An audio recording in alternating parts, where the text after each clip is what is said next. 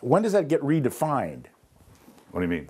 Well, an author is somebody who's published. That's that's the definition. Well, are you published if something appears on the internet? Well, that's, that's a good question. In the traditional sense, probably not. But as far as Google's concerned, we're talking SEO here, folks. Uh, Google is looking for people to have multiple legitimate articles in places. Okay, what about this- what about illegitimate articles? Well, those are you know shine. Those are looked down upon. Sort of political correctness. Welcome to the Vintner Series, November 2011 of the Wine of the Month Club. My name is Ed Masciana, and fortunately I'm here because otherwise you'd have to put up with bobblehead. it's the baseball season and World Series. yeah, I know, I know. And Look at this guy. Looks like Kirk Gibson, doesn't it? 1988, number 10. if it was, if it was Kirk Gibson, he'd be down on one knee. He's like, hey, this is uh, this is really fun. Uh, This is my old buddy, Mitch Cosentino. Yeah.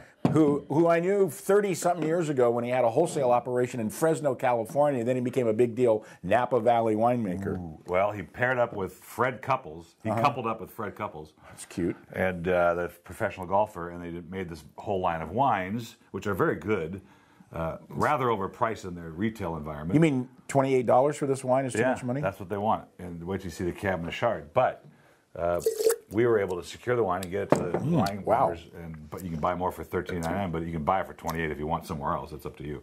But isn't it? You know what I liked about it? Spice. It's a California Sangiovese, but it's got some Chianti. It's got some spiciness to it that's very, um, well, it's sort of Chianti like, but it's got that kind of richness that you get from California that Mm-hmm. you, you don't often get from, from Chianti. But it's a delicious wine. It's got more fruit than Chianti does, but it's got that spicy, and the nose has got that sort of old world, but the palate is new world for sure. Mm-hmm. It's uh, it's it's certainly coming together too, and it's 2006, so it's got a little bit of age on it. It's already, gosh, it's already five years old, and that's that's the I think, color is pretty good. classic, isn't it? beautiful. Yeah. I mean, this is so. This is Fred Couples, the, the professional golfer. He's got his own brand. You know, everybody wants to be like Greg Norman. That's the key.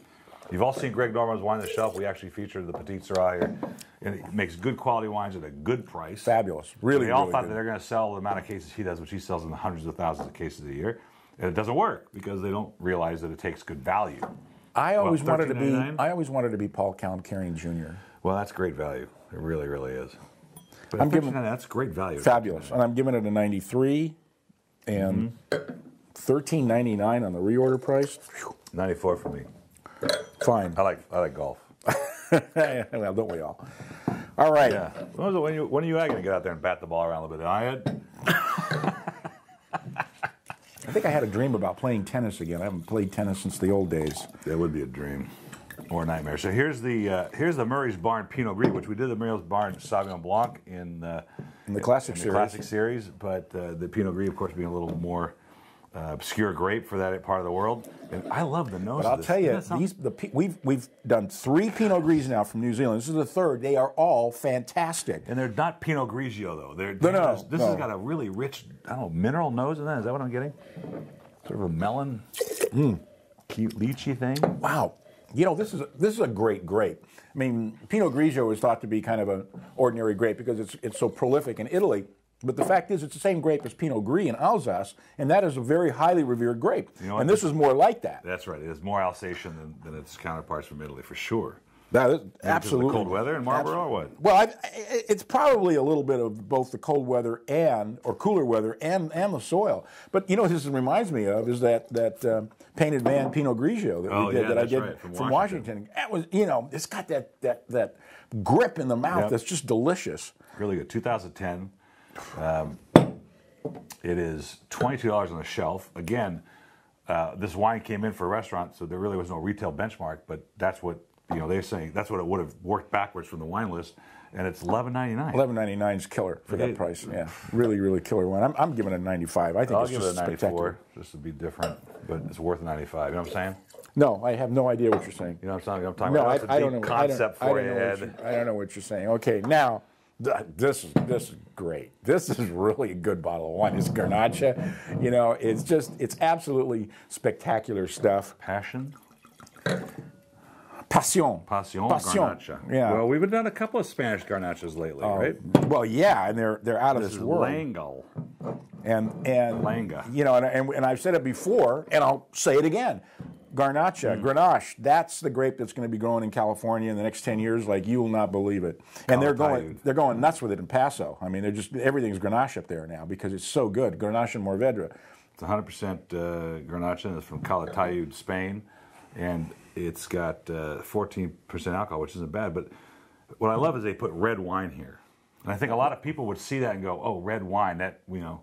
Well, it's a legal thing. It's they a legal to. thing, right? They have to do Or it. if they put table wine, Americans think that table wine is a designation and is not in a Well, that's true. Yeah, it just it just has to do with the alcohol content. But the uh, table wine in, in the United States means it's under fourteen percent. You know what I liked about this one? I remember now is it didn't jump out at you with all these berries that are over the top that you get sometimes with garnacha.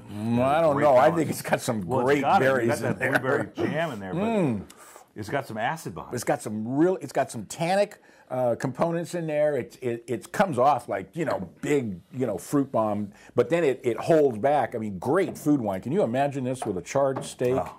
you know, or, or or a lamb leg or something? Wow, I'm I'm I'm You know what? Last night Sandra made a ginger uh, soy pork roast, and this the pork it was really it would have worked really well.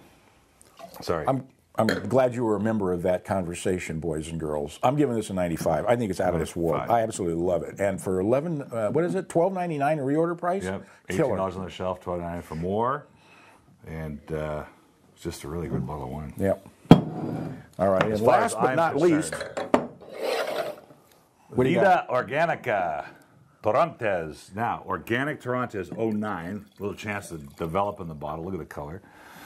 And Torrontés we love here, but they can be kind of disjointed and uh, over tropical. And this one, being organic, has got a sort of subdued nose. Look, it's opening up now. Hmm, So are you. That's great. You know, you get that organic. Wow. The God, it nose almost- is really closed. It almost tastes like there's Sauvignon Blanc in there. You know, Yeah. it's got a little a little grassiness, a little herbal component. It does. You know, I just realized the nose, it's got a greenness to it. You know? Yeah, it's, um, you don't get that in the palate. This is this is a really good wine to have with with lighter style foods uh, versus most Torrontés, which is it can be over like you said overly flowery, overly unctuous, and this is reserved and it's got some good acidity really in the fun. finish. This is going to open in a glass as well, and this is uh, organic. And look like the uh, I can't tell if it's organically. Yes, The it's- winery's organic as well. Yeah, right. They're the No, this is made from organic grapes. Made for organic grapes. So the, the the vineyard is managed as organic vineyard, but the winery itself is not certified as organic, and sometimes that's a good thing because they run it like an organic winery. Mm-hmm. But there's certification issues that you don't want to have sometimes because you can't do other things, but they run it like an organic winery. So, uh, so there's there's a difference between the designation. Thank you. Thanks for coming, Ed. It's great to have. I'm giving it a 92. I love the fact that it's 11.99. It's organic. What else do you want? You know, it's got sort of a paint, a wet paint smell to it. Wet paint is not a good term to use Mm. to describe a wine. It's not a bad thing. I think it's more dry paint myself. Yeah? Yeah. Like Navajo white or? Navajo white, exactly. Yeah, that was the, the color of the 70s. Jeez. There it is, Vintner Series 2011 for November. See you next month.